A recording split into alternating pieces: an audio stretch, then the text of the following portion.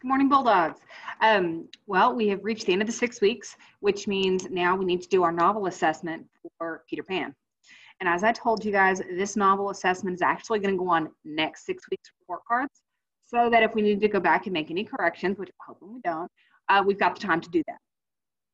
So there is a link um, included on the assignments page to take you to the quiz. It is going to be a test grade, but it's on Google Quizzes. A Google form and there are 33, 34 questions.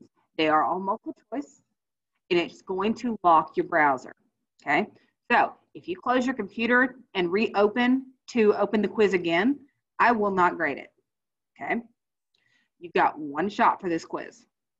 Okay, so I believe that browser, I know it's going to lock you out of using the internet, um, and I believe it locks uh, opening of other files. Okay, do not start that assessment until you've got the time to sit down and put the time into answering all the questions. Okay? And that is all I have set for you guys today is completing that assessment.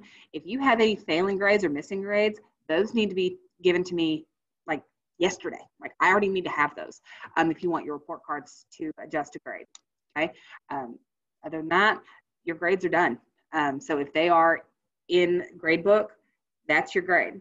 So if you've got missing or failing grades, you need to get those to me like today. Like I already need to have those.